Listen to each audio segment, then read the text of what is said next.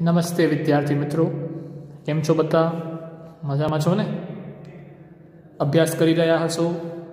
અને ગ્રુપમાં મેસેજ પણ વાંચી રહ્યા હશો કે તમારી હવે પરીક્ષા આવવા જઈ રહી છે? બાવીસ તારીખથી પરીક્ષા શરૂ થશે. અને આ બાવીસ તારીખથી શરૂ થવાવાળી પરીક્ષામાં પચાસ માર્ક્સનું પેપર હશે. તો બરાબર રીતે તૈયારી કરવી ખૂબ જરૂરી છે. બધા વિષયનું સિલેબસ ગ્રુપમાં આવશે અને એવી રીતે મેથેમેટિક્સનું, ગણિતનું પણ આવશે.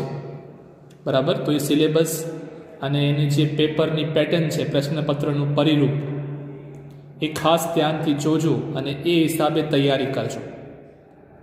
ખાસ ધ્યાન રાખજો કે જે મુદ્દાઓ સિલેબસમાંથી કટ થઈ ચૂક્યા છે સરકાર દ્વારા, એ મુદ્દાઓ અથવા એ સમ્સ પરીક્ષામાં નહીં પૂછાય. એટલે એમની તૈયારી કરવી નહીં.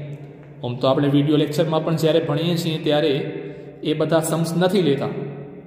પણ તો પણ તમને યાદ કરાવું છું કે એ પ્રકારના સમ્સની તૈયારી કરવી નહીં, કેમ કે એ બધા સમ્સ પરીક્ષામાં નહીં પૂછે. બરાબર? એટલે એની ચિંતા રહેવા દેવી. ચાલો હવે આ વીડિયો લેક્ચરમાં આપણે આગળ વધીએ. ગયા વખતે તમને યાદ હોય તો છઠ્ઠું ચેપ્ટર આપણે કરતા હતા. છઠ્ઠા ચેપ્ટરમાંથી પણ ઘણું બધું માઇનસ છે. છઠ્ઠા ચેપ્ટરનો પહેલો પાર્ટ એટલે કે સ્વાધ્યાય છ પોઈન્ટ એક સુધી આપણે પૂરો કરી લીધો હતો. આજે આપણે એનો બીજો ભાગ શરૂ કરવા જઈ રહ્યા છીએ. સ્વાધ્યાય છ પોઈન્ટ બે.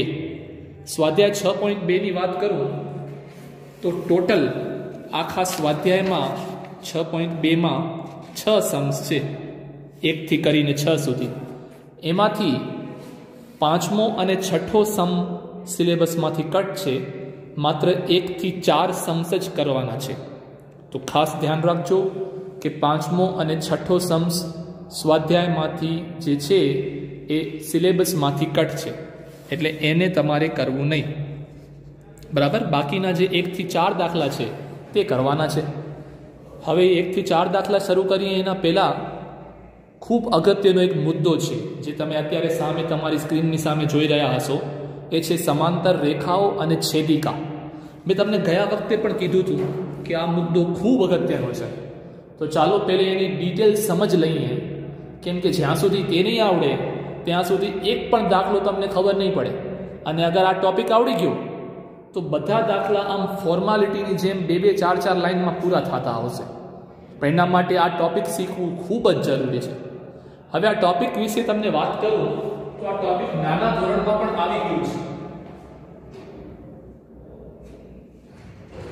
નાના ધોરણમાં પણ આના વિશે થોડું ઘણું તો આવી ગયું છે. કદાચ ડિટેલમાં ના આવ્યું કોઈ વાંધો નહીં, આજે આપણે ડિટેલમાં શીખશું માને. બરાબર? તો ચાલો શરૂઆત કરીએ આપણે આ ટોપિકની, જેથી તમે પછી સ્વાધ્યાય કરી શકો. જેમ મેં તમને કીધું, ટોપિકનું નામ છે સમાંતર રેખાઓ અને છેદિકા મિત્રો, સૌથી પહેલા તો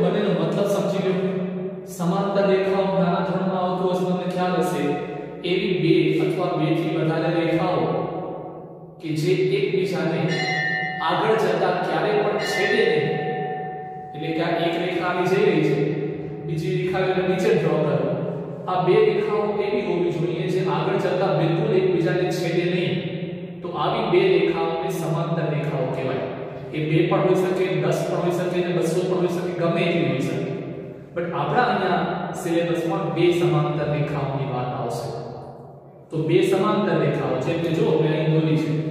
એક આ સમાંતર રેખા માની લો કે આ રેખાને L નામ આપું છું રેખાને નામ બે ત્રણ રીતે આપી શકાય એક તો તમે અહીંયા બે બિંદુઓ લખી નાખો તો આ રેખાને કહેવાય રેખા AB અને એને સંજ્ઞામાં આવી રીતે લખાય કાં તો પછી આ રેખાને ખાલી એક જ આલ્ફાબેટમાં નામ આપી L તો આવી રીતે પણ નામ આપી શકાય એવી રીતે આ બીજી રેખા આનું નામ છે CD કાં તો માની લેવાનું નામ છે M, તો CD અથવા M બંને એંગલના નામ છે. એટલે રેખાને આ રીતે નામ અપાતા હોય છે.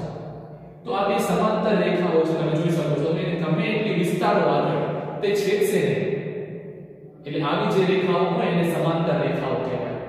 તો ટોપિકના નામમાં બે વર્ડ છે, સમાંતર રેખાઓ અને છેદિકા. તો આ બે સમાંતર રેખાની વાત થઈ હવે વાત છે છેદિકા. તો આજે તમને ત્રીજી રેખા દેખાય છે ને? માની લો કે નામ આપી દો E અને F. કાં તો નામ આપી દો L M તો આને નામ આપી દો N. તો આ જે ત્રીજી રેખા તમને જે દેખાય છે, જે આપેલી બંને સમાંતર રેખાઓને બે ભિન્ન બિંદુઓમાં, પહેલી રેખાને અહીંયા છેદે છે, બીજી રેખાને અહીંયા છેદે છે.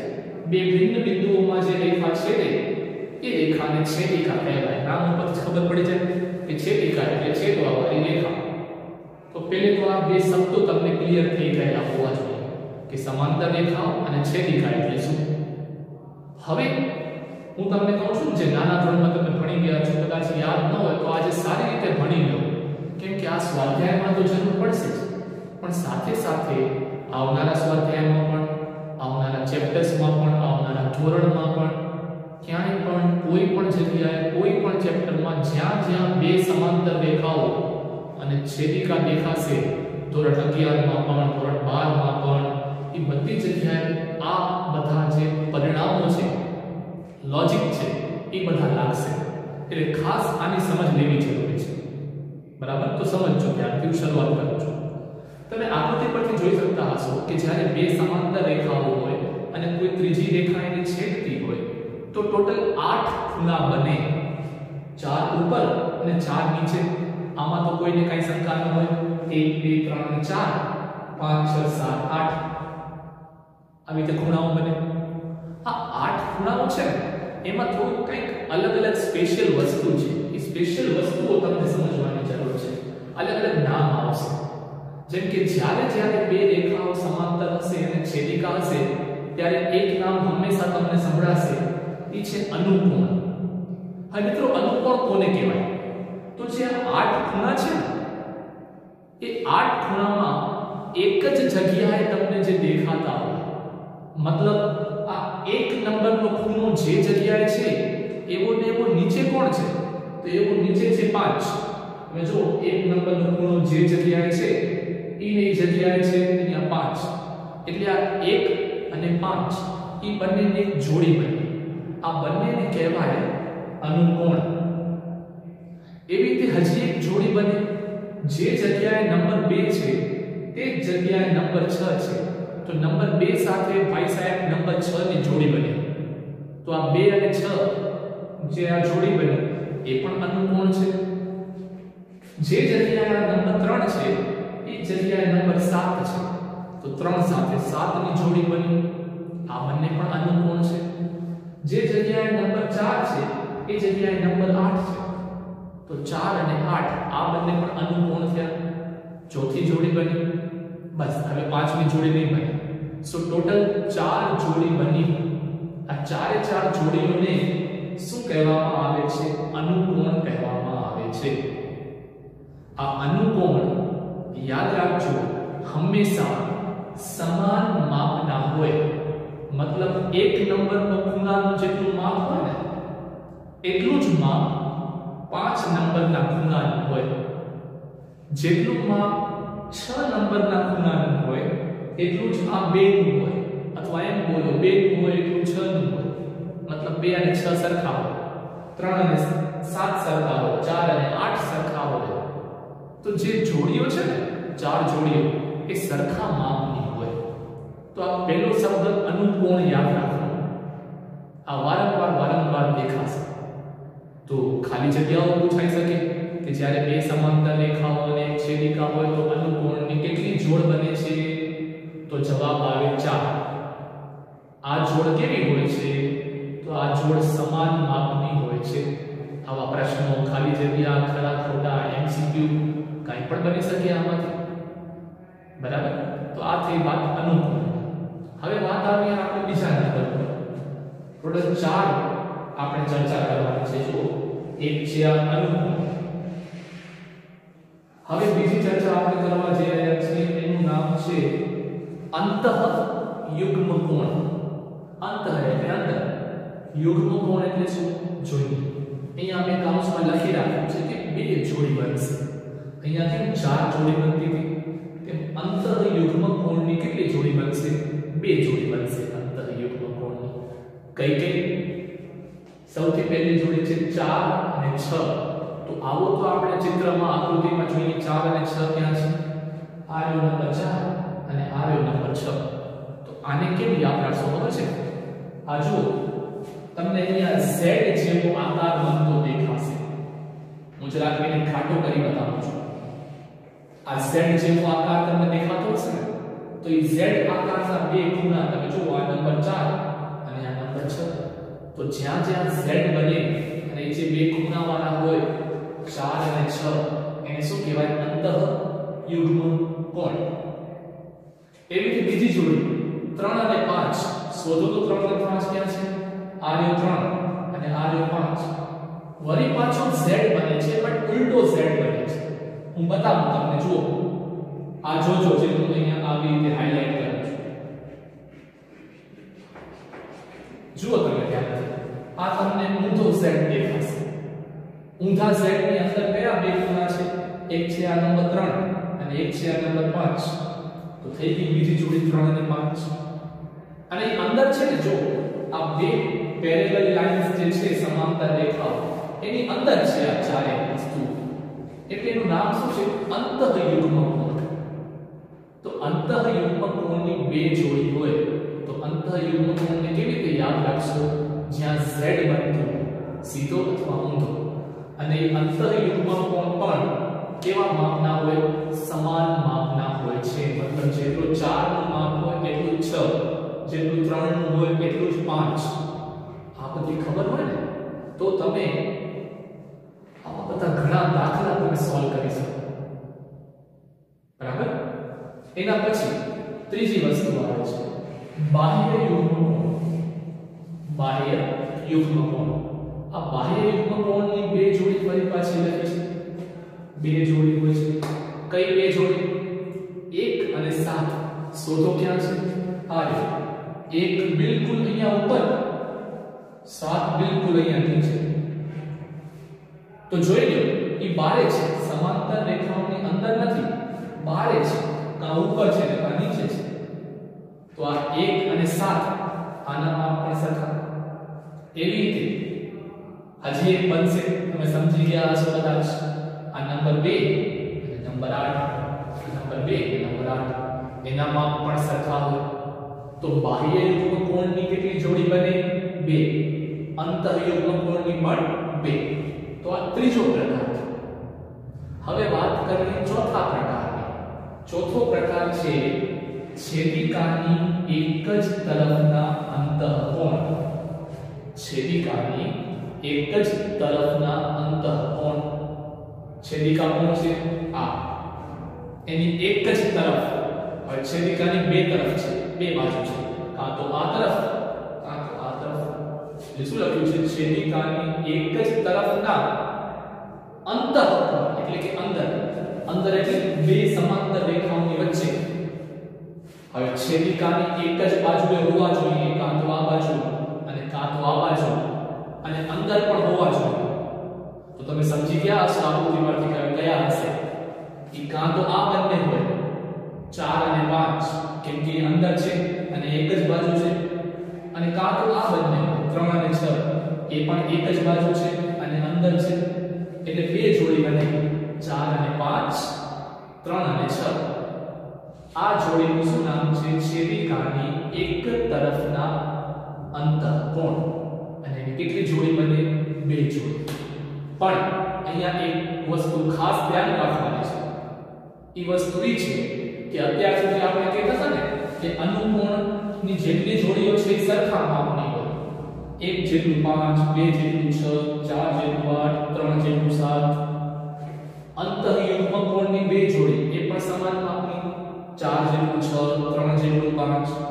બાહ્ય યુગ્મ કોણની બે જોડી, એ પણ સમાન, એક જેટલું સાત, બે જેટલું 8 પરંતુ છેદિકાની એક જ તરફના અંતઃકોણની જે બે જોડીઓ બની, એ સમાન માપની ન હોય. આ જોડીઓ એકબીજાને પૂરક હોય. શબ્દ આવ્યો તો ગયા વિડિયો લેક્ચરમાં પૂરક કોણ. એકબીજાને પૂરક હોય એનો મતલબ શું? કે તે બંનેનો સરવાળો 180 ડિગ્રી થાય. એ બંનેનો સરવાળો 180 ડિગ્રી થાય. એને કહેવાય એકબીજાના પૂરક કોણ કોટી કોણ પૂરક કોણ આવતા જે બે ખૂણાઓનો સરવાળો 90 ડિગ્રી થાય, એમને કોટી કોણ કહેવાય? અને જે બે ખૂણાઓનો સરવાળો 180 થાય, એમને પૂરક કોણ કહેવાય? તો આ જે છેદિકાની એક જ તરફના અંતઃકોણ જે છે એ સમાન નથી હોતા મતલબ જેટલો 4 એટલો 5 નહીં આ જે 4 અને 5 છે એ સરખા માપના નથી હોતા એનું માપ સરખું નથી પણ એ કેવા છે પૂરક કોણ છે મતલબ 4 નો માપ અને 5 નો માપ એ બંનેના માપનો તમે સરવાળો કરો તો એ 180 ડિગ્રી આવે મતલબ હોઈ શકે કે આ 120 ડિગ્રીનો હોય તો આ 60 ડિગ્રીનો આ 110 હોય તો આ 70 એટલે બે નો થઈને સરવાળો થાય 180 ડિગ્રી. એને કહેવાય પૂરક કોણ તો આ યાદ રાખજો. ચાર પ્રકારના જે ખૂણા બન્યા ને, એ ચાર પ્રકારના ખૂણામાં ઘણી બધી ખાલી જગ્યાઓ, ઘણા બધા એમસીક્યુ, ઘણા બધા ખરા ખોટા, આ બધું બની શકે. કે અનુકોણની કેટલી જોડી? ચાર જોડી. કેવી હોય છે? સમાન. અંતઃયુગ્મ કોણની કેટલી જોડી? બે. કેવી હોય છે? સમાન. બાહ્ય છેદિકાની એક તરફના અંતઃકોણ કેટલી જોડી? બે. કેવા હોય છે? પૂરક. સમાન નહીં. એટલે કે સરવાળો 180 તો ઘણા બધા ખાલી જગ્યાઓ એમસીક્યુ આ બધું બની શકે. ઓકે, તો આ બરાબર સમજો હા, એક એક નામના આવા પ્રશ્નો હોઈ શકે. આવું ચિત્ર આપેલું હોય, આકૃતિ આપી હોય, અને તમને પૂછ્યું હોય કે આ આકૃતિમાંથી કયા નંબરના ખૂણા અંતઃ યુગ્મ કોણ છે.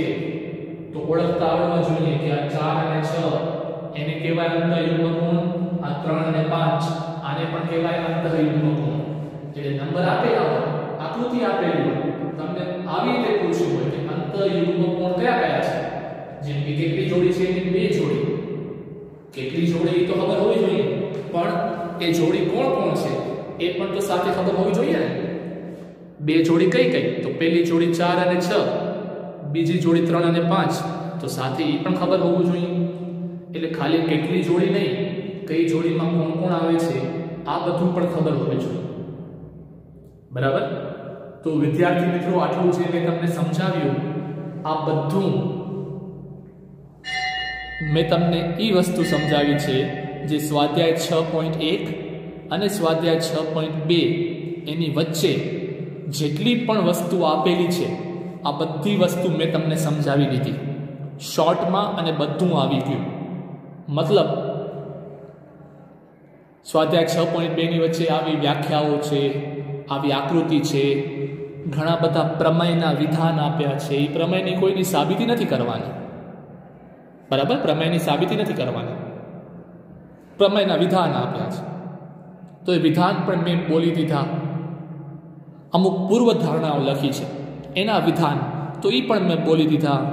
એ બધા શું છે ખબર છે? આ જ બધું છે કે આટલી જોડીઓ હોય, આ સમાન હોય, આ પૂરક હોય.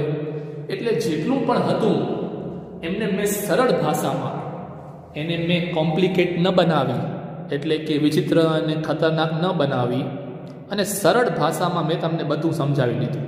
સાવ સરળ ભાષામાં. કેમ કે ઘણા બધા વિધાનો લખવા જાઓ તો મૂંઝાઈ જાઓ. એના કરતાં અત્યારે તમારી સામે બોર્ડની સામે જે ડાબી બાજુના અડધા ભાગમાં લખ્યું છે એ સમજણ છે કે છ પોઈન્ટ એક અને છ પોઈન્ટ બેની વચ્ચે કેટલી કેટલી વસ્તુઓ આપી છે અને કઈ કઈ વસ્તુઓ આપી છે. તો તમે પણ જ્યારે નોટબુકમાં આ બધું લખતા હો, ત્યારે ખાસ કરીને આ જે મેં બોર્ડ ઉપર લખ્યું છે, એને ખાસ કરીને લખી લેવું. કેમ કે આ જિંદગીભર કામ આવશે, જેમ મેં તમને કીધું. આ સ્વાધ્યાયમાં, આવનાર સ્વાધ્યાયમાં, આવનાર ચેપ્ટરમાં, આવનાર ધોરણમાં, અગિયાર બારમાં, બધી જગ્યાએ કોઈ પણ ચેપ્ટરમાં કોઈ પણ જગ્યાએ આ બધી વસ્તુઓ આવશે. એટલે બધી જગ્યાએ તમને કામ આવશે. એટલે બરાબર વ્યવસ્થિત કરીને એને સમજી લેવું. ઓકે? તો આ બધી સમજણ જેટલી આપવાની હતી, એ આપી દીધી. ચાલો હવે સ્વાધ્યાય તરફ આગળ વધીએ મિત્રો. સ્વાધ્યાય છ પોઈન્ટ બેમાં જેમ મેં તમને કીધું કે ટોટલ છ દાખલાઓ આપેલા છે. આ છ દાખલાઓમાંથી આપણે કરવાના છે માત્ર અને માત્ર દાખલા નંબર એક, બે, ત્રણ અને ચાર. પાંચ અને છ સિલેબસમાંથી કટ છે.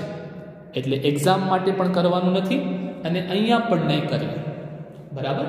તો ચાલો શરૂઆત કરીએ સ્વાધ્યાયની. સૌથી પહેલે લઈએ છીએ પ્રશ્ન નંબર એક. તો તમે બધા પાઠ્યપુસ્તકમાં જોજો. પાઠ્યપુસ્તક ખોલજો તમારા હાથમાં રાખજો અને પ્રશ્ન વાંચજો. જેમ મારી પાસે પાઠ્યપુસ્તક છે, આ પ્રશ્ન નંબર 1 એમ કે છે, સ્વાધ્યાય છ પોઈન્ટ બે કે આકૃતિમાં x અને y ના મૂલ્યો શોધો. આ જે આકૃતિ મેં અહીંયા બનાવી છે ને? આ આકૃતિ મેં મારી પોતાની એક નથી બનાવી. આ આકૃતિ પ્રશ્નમાં આપેલી છે. તો પરીક્ષામાં આવો પ્રશ્ન પૂછાય, તો આકૃતિ તમને આપેલી હોય.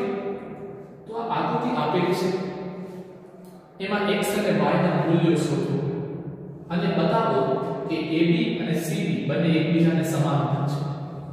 હવે જો કેટલું સરળ છે. આ જુઓ તો કેટલો નાનકડો એનો જવાબ છે. ચાર, પાંચ, લીટી. આ જવાબ નાનકડો તો આવડે. જો તમને આ બધું આવડતું હોય તો. આ બધું ના આવડતું હોય તો આ ના શું છે? હાલો સમજીએ ફટાફટ. X અને y ના મૂલ્યો શોધવાના છે. X એટલે r આ ખૂણો શોધવાનો છે. કેમ મળશે? આ ખૂણો કેમ મળશે? X. તો તમારી નજર અગર તમને x શોધવું છે, તો એના સિવાયના ખૂણાઓ ઉપર હોવી જોઈએ.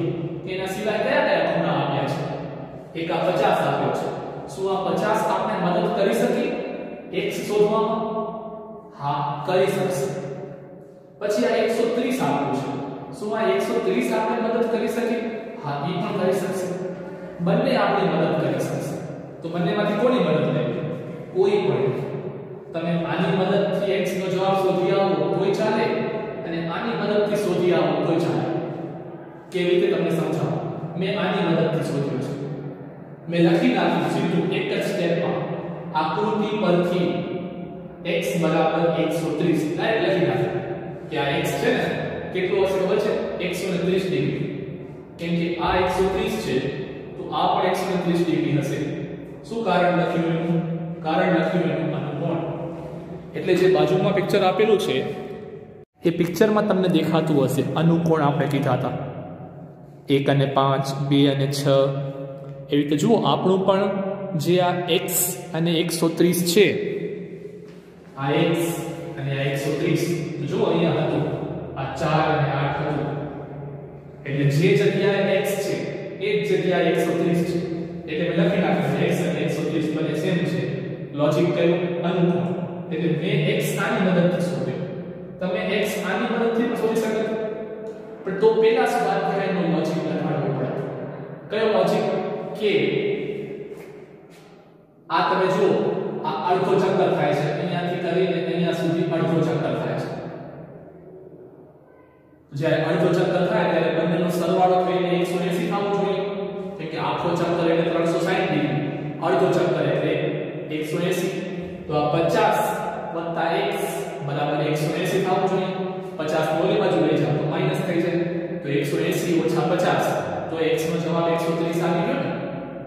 જે આપણે જોઈએ છે પણ તો એ કયા લોજિકથી થાય? પહેલા સ્વાધ્યાયના લોજિક પરીક્ષામાં આ દાખલા પૂછાય. તમે પહેલા સ્વાધ્યાયના લોજિકથી પણ શોધી શકો અને જે મેં અહીંયા લખ્યું એ પણ કરી શકો કોઈ ખોટી વસ્તુ નથી તમને જે યાદ આવે એ તમે લોજિક લગાડી શકો છો બરાબર તો આ વસ્તુ ખાસ ધ્યાન રાખજો એમાં કોઈ પ્રોબ્લેમ નથી લોજિક લગાડવાનો એ રીતે હવે y શોધવાનું છે તો y ને પહેલા સ્વાધ્યાયના લોજિકથી શોધ્યો છે આ જો મેં લખી નાખ્યું ડાયરેક્ટ એક જ લીટી પરથી આકૃતિ પરથી y બરાબર 130 આ y જે છે એ આ 130 જ હશે આ બંને સરખા હશે યાદ કરો પહેલો સ્વાધ્યાય ટોપિક આવતો તો અભિકોણ કે જ્યારે બે રેખાઓ એકબીજાને છેદે ત્યારે આ ખૂણો અને આ ખૂણો સરખો થાય એને અભિકોણ કહેવાય કાં તો આ ખૂણો અને આ ખૂણા સરખા થાય એને પણ અભિકોણ કહેવાય બે જોડી બનતી અભિકોણની એક આ અને એક આ તો તમે જુઓ અહીંયા બે રેખાઓ છેદે છે ને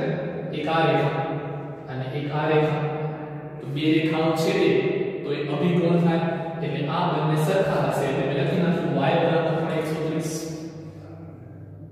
ખતમ થઈ ગયું એક જ લાઈન એટલે કોઈ પણ લોજિક લગાડી શકો. હવે પ્રશ્ન શું હતો? સાબિત કરો કે AB અને CD સમાંતર છે. આ AB અને આ CD સમાંતર છે. હવે આપણે એમ થાય કે તો દેખાય છે સમાંતર છે, એમાં સાબિત શું કરવું?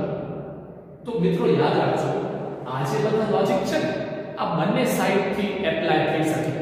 બંને સાઈડથી મતલબ કે જો બે સમાંતર રેખાઓ હોય, તો અનુકોણની ચાર જોડી બને અને બધી જોડી સમાન હોય. આને ઊંધી રીતે બોલવું તો બોલાય? કે માની લો કે બે રેખાઓ છે, ખબર નથી સમાંતર છે કે નહીં. અને એક છેદિકા છે. બે રેખાઓ છે અને એક છેદિકા છે. જો અનુકોણની જે ચાર જોડી બનતી હોય, એ સમાન હોય, તો એ રેખાઓ સમાંતર જ હોય, બીજી કોઈ ન હોઈ શકે. એટલે બંને સાઈડથી બોલાય કે રેખાઓ સમાંતર તો અનુકોણની જોડો સમાન માપની કાં તો અનુકોણની જોડો સમાન માપની હોય, તો જે રેખાઓની વાત કરો છો એ સમાંતર હોય. એટલે બંને સાઈડથી લોજિક લાગી શકે. તો અહીંયા સાબિત કરવાનું છે કે AB અને CD સમાંતર છે. મેં શું લખી નાખ્યું? કે હવે x બરાબર y છે. જેટલું આ x છે, એટલો જ આ y છે. હવે તમે જો આ z બનતો દેખાય છે તમને? આ z1 તો દેખાય છે. તો જેટલું x છે એટલો y છે, મતલબ આપણે ખબર છે કે આ બંને ખૂણા સરખા છે. જો આ બંને ખૂણા સરખા હોય, તો આ બંને રેખાઓ સમાંતર જ હોય. કેમ કે લોજિક શું કહે છે? અંતઃયુગ્મ કોણ? મેં તમને કીધું ને, આ બધા લોજિક બે સાઈડથી એપ્લાય કરી શકાય. કે અંતઃયુગ્મ કોણ? લોજિક કેમ કે બે સાઈડથી એપ્લાય થાય? કે બે રેખાઓ સમાંતર? તો અંતઃયુગ્મ કોણ સરખા કાં તો અંતઃયુગ્મ કોણ સરખા તો બે રેખાઓ સમાંતર એટલા માટે મને ખબર છે કે અહીંયા અંતઃયુગ્મ કોણ સરખા છે. તો બે રેખાઓ સમાંતર હશે, એટલે એક જ લીટીનો આન્સર. તો આવી ગયું. આ થઈ ગયો પ્રશ્ન નંબર 1 પૂરો. બરાબર? ટોટલ આપણે કેટલા દાખલા કરવાના છે? આ સ્વાધ્યાયમાંથી આ સ્વાધ્યાયમાંથી આપણે કરવાના છે ટોટલ ચાર દાખલા. 1 2 3 અને 4 એ ચારમાંથી આપણે બે દાખલા સોરી એક દાખલો અત્યારે પૂરો કર્યો. હવે આપણે આગળ વધશું પ્રશ્ન નંબર બે તરફ ઓકે 2 3 અને ચાર તરફ. એટલે જો આ તમને આવડતું હશે, તમને જે આ સામે લખ્યું છે બોર્ડ ઉપર, એ તમને આવડતું હશે, તો બાકીના ત્રણ દાખલા પણ આવડવામાં કોઈ મોટી વસ્તુ નથી. પ્રશ્ન નંબર બેમાં સૌથી પહેલે તમે જોઈ શકો છો, આકૃતિ આપી છે. જ્યારે પણ કોઈ પણ પ્રશ્ન કરીએ, ત્યારે પાઠ્યપુસ્તક હાથમાં રાખવું પ્રશ્ન નંબર બે માં એક આકૃતિ આપી છે, તમે જોઈ શકો છો. પ્રશ્ન કંઈક એવું કહે છે કે આકૃતિમાં AB અને CD સમાંતર છે. CD અને EF સમાંતર છે. એટલે ઇન શોર્ટ ત્રણેય રેખાઓ સમાંતર છે. એ તો આપણે દેખાય છે. Y જેમ z નું મૂલ્ય 3 છેદમાં 7 3 જેમ 7 છે. તો x નું મૂલ્ય શોધો. Y અને z. આ બંનેનો ગુણોત્તર આપ્યો છે. વાય જેમ ઝેડ બરાબર ત્રણ જેમ સાત. તો પ્રશ્ન છે એક્સની કિંમત શોધો. હવે ધ્યાન આપજો સૌથી પહેલે આકૃતિમાં. જુઓ મિત્રો, આ ખૂણો ઝેડ આપેલો છે. બરાબર? આ ઝેડ છે, એટલે આની કિંમત ઝેડ છે તો આની કિંમત પણ ઝેડ થશે. શું કામ? આ લોજિક લાગશે અંતઃયુગ્મ કોણ?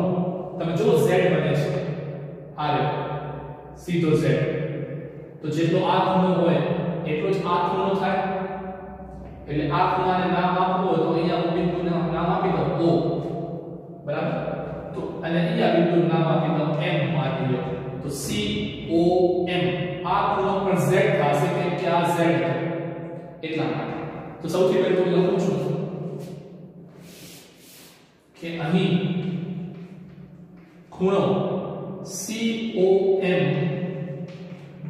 બરાબર ખૂણો OMF બંને સરખા થશે ને? આ ખૂણો અને આ ખૂણો. કયો લોજિક કીધું આપણે? અંતઃયુગ્મ કોણ? અંતઃયુગ્મ કોણ? આ લોજિકના કારણે બંને ખૂણા સરખા. હવે બંને ખૂણા સરખા છે તો ઓલો z, તો આ પણ z. એટલે જે આ ખૂણો છે COM આ COM પણ કેટલો થશે? Z થઈ જશે હવે શું કામ? આવું કર્યું પહેલે લોજિક તમને હું સમજાવું. જો એક વસ્તુ આવી છે પ્રશ્નમાં કે y જેમ z બરાબર 3 જેમ 7 મેં તમને ગયા સ્વાધ્યાયમાં, ગયા ચેપ્ટરમાં કીધેલું છે કે જ્યારે પણ કોઈ રેશિયો આપ્યો હોય ગુણોત્તર આપ્યો હોય ત્યારે આપણે સૌથી પહેલે ધારવું પડે કે ધારો કે y બરાબર 3 ઓમ સામાન્ય રીતે x નામ આપતા હોય બટ x તો નામ અપાયેલું છે x નામ નહીં આવે બીજું કંઈક ધારો કે y બરાબર 3k અને z બરાબર 7k કેમ કે આપ્યું તો 3 જેમ 7 5 જેમ 6 આપ્યો હોત તો 5k અને 6k થાય હવે y બરાબર 3k અને z બરાબર 7k હવે તમે આકૃતિ જુઓ, તો તમને દેખાશે કે y અને z નો સરવાળો તો 180 થવો જોઈએ. કેમ કે જુઓ y અને z બંને મળીને અડધો ચક્કર થાય છે. તો y અને z નો સરવાળો 180 થવો જોઈએ. તો y કેટલું છે આપણી પાસે? 3k z કેટલું છે? 7k એ બંનેનો સરવાળો 180 થવો જોઈએ. મતલબ 10k બરાબર 180 હોવું જોઈએ. તો k ની કિંમત કેટલી થાય? 10 ને ભાગાકારમાં લઈ આવો તો 18 k ની કિંમત થઈ 18 હવે k મળી ગયો તો y અને z બંને મળી જાય. તો y થશે 3 ગુણ્યા 18 એટલે કે 54 ડિગ્રી. અને z થશે કેટલો હતો? 7 ગુણ્યા 18 એટલે કેટલું થશે? 70 એક 56 બીજા 126 થી તો y અને z બંને મળી જાય પણ હવે પ્રોબ્લેમ એ છે કે આપણે પ્રશ્નમાં તો y અને z નતા પૂછ્યા. આપણે તો પ્રશ્નમાં x પૂછ્યું છે. આ x શોધો. પણ x શોધવા માટે y અને z માં મદદ લેવી પડે. એટલે આ શોધ્યા આ x તો મળે. જો આ y મળી જાય ને તો, કયા લોજિકથી છેદિકાની એક તરફના અંતઃકોણ જો આ બે સમાંતર રેખાઓ છે. આ છેદિકા છે. તો x અને y શું છે? છેદિકાની એક જ તરફના અંતઃકોણ છે. આપણે ખબર છે, છેદિકાની એક જ તરફના અંતઃકોણ હોય તો એ સરવાળો એનો 180 થાય. એટલે એક ખબર હોય તો બીજો મળી જાય. એટલે આપણે y શોધ્યું કે y ખબર હોય તો x મળી જાય. તો લખું છું હવે x y બરાબર 180 કારણ શું લખશું? છેદિકાની એક જ બાજુના અંતઃકોણો. છેદિકાની એક જ બાજુના અંતઃકોણો. એટલે x અને y નો સરવાળો 180 થાય. હવે y તો ખબર છે 54 તો y ની કિંમત મૂકી દો તો x 54 બરાબર 180 54 ને આ બાજુ લઈ આવો. તો માઇનસ થઈ જાય. તો 180 માંથી 54 માઇનસ કરી નાખો. તો 126 બચે. એટલે x ની કિંમત આવી 126 ડિગ્રી. બરાબર? તો આ થયો અહીંયા પ્રશ્ન નંબર 2 પૂરો. x ની કિંમત આવી 126 ડિગ્રી. ચાલો હવે આગળ વધીએ પ્રશ્ન નંબર 3 તરફ. પણ આઈ થિંક મિત્રો આજે હવે સમય એટલો નથી આપણી પાસે આ વીડિયો લેક્ચરમાં કે આપણે આગળ વધી શકીએ. એટલા માટે એક કામ કરીએ છીએ, આ વીડિયો લેક્ચરને આપણે અહીં સમાપ્ત કરીએ છીએ. બરાબર? આવતા વીડિયો લેક્ચરમાં જ્યારે મળશું આપણે, ત્યારે આપણે આને આગળ વધારશું. બે દાખલા બાકી છે ને, દાખલા નંબર ત્રણ અને ચાર. એ દાખલા નંબર ત્રણ અને ચાર આપણે આવતા વીડિયો લેક્ચરમાં આગળ વધારશું.